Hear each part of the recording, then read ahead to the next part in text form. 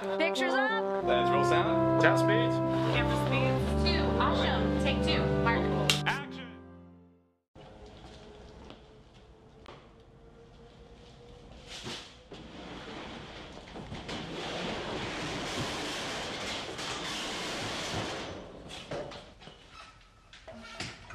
Uh, My name is Nabil Mousa. Yes, I am uh, Syrian, but I'm also American. Um, I come from a Christian background, and I consider myself a spiritual person now. I don't really follow uh, any particular religion, and I'm gay. I'm married to a wonderful man, and that's who I am. I'm just an average individual. I decided you know, everything I've done before, I've been very successful at, but it wasn't as fulfilling. I don't really go in with so much like a set idea, because I can go in and say, okay, I'm going to paint a chair, but by the time I'm done, it could be a horse.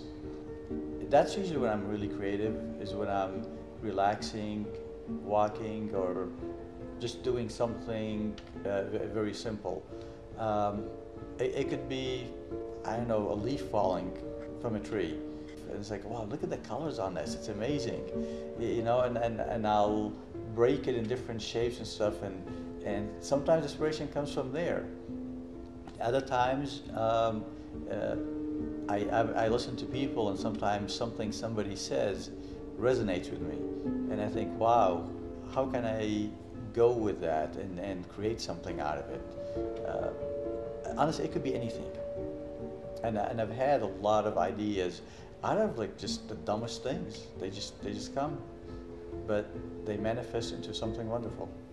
Hey baby, I lost you. yeah, how's, how's it going? When I first moved to Atlanta in 2001, I was afraid of being gay, and now I am proud to be gay. And it, is, it was a gay community in Atlanta that helped me uh, become that strong individual, and, and I'm grateful for Atlanta for doing that. All right, well, I'm gonna go. I miss you. Okay, I will. Love you. Love you. Bye.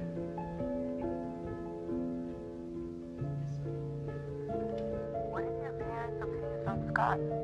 my parents don't give a shit about anything I, that I do, and it's basically we don't want to talk to you, we don't want to hear from you. Um, you know, we don't care what's going on in your life, and they don't understand my art. They don't care about my art. You know, not being like not even being hugged by anybody for you know months, years is is what I'm living.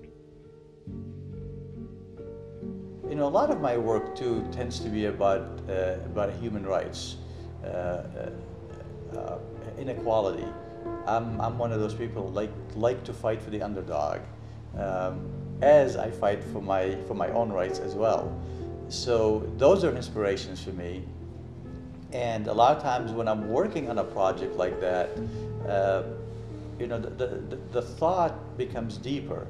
And when I'm analyzing something, obviously, uh, I'm going to learn from it. So I feel by the time I'm done with the project, there's a lot more meaning behind it because I have come out from the other end uh, as, as a better person.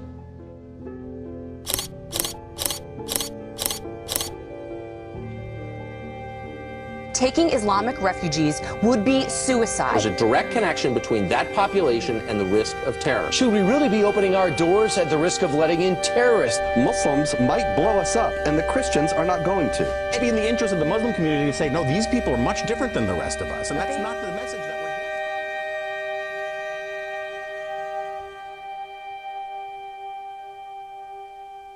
getting. Judgment Day 9 11 was created to bring uh, people of the Middle East uh, together with Americans so that we can all co create on these walls.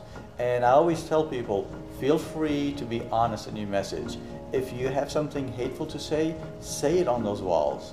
If you have something good to say, say it. Because I feel like if we're if we're not being honest, then we can't move forward. I wanted to talk about 9-11 and its effects on the Middle Eastern culture because what people in, in, the Western world doesn't realize is that the Arab community is a very friendly and loving community. But we are portrayed in the news as these evil people who you have to watch out for because any one of them can blow, can, can blow us up. And it's so untrue, it's so far from, from, from reality.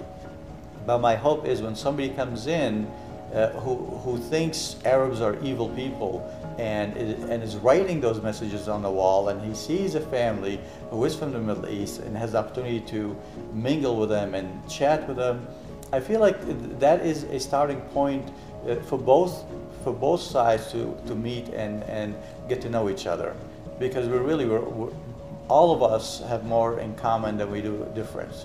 So if we focus on the things that we have in, in common, we'll find that we're a lot more alike than we are different. We all want peace. We all want uh, a safe place to live. We all want uh, happiness. We want we want health, and we want our kids to prosper and uh, and enjoy life.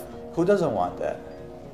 When I first started Judgment Day 9/11, a lot of people were fearful like, don't do this. You're going to put yourself in, uh, in your life at, at risk because somebody's going to be angry and they're going to after, they're going to come after you.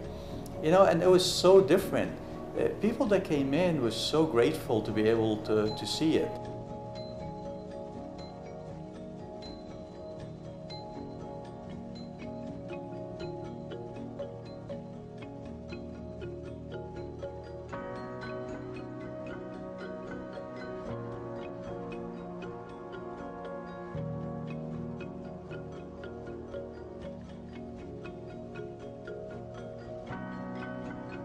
As an artist, as, as a person, as a human being, all I can do is try and voice my opinion.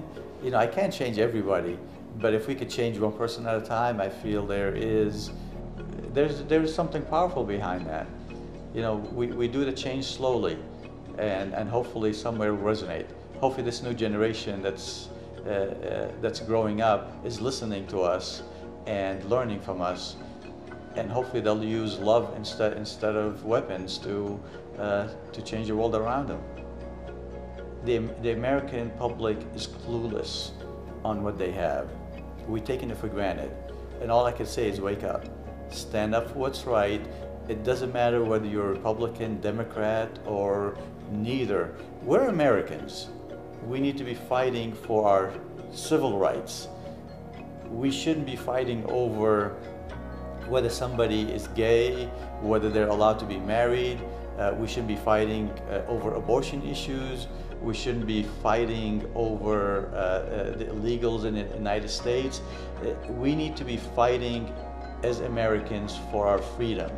And because they're keeping us busy right now with all this little stuff while they're taking away our rights. And soon we won't be able to do anything.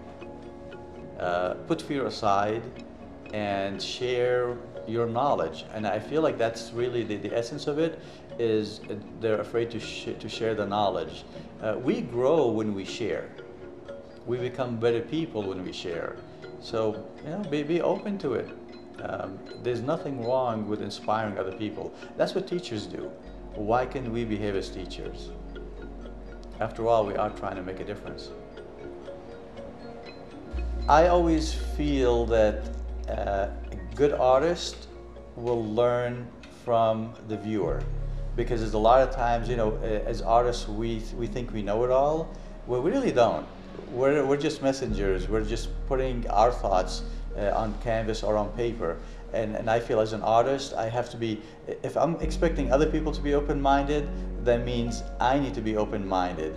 Because there are times when other people have come in and talked about my work in ways that I'm not expecting and and I stand back and say wow I never really thought about it.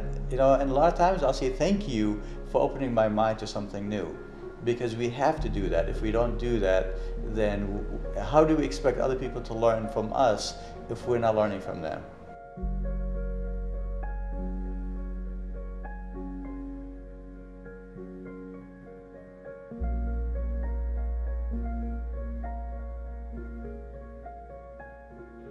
Hey, mom and dad, this is Nabil. I don't know what to say anymore. I feel like I've tried. I'm always trying to open up communication to get you guys to understand. I don't think you realize how hurtful your behavior has been and, and how is- isolated I feel and rejected by my own family. And uh, I have been so angry for so long, and, and I don't want to be angry anymore. And I just want you to know that I forgive you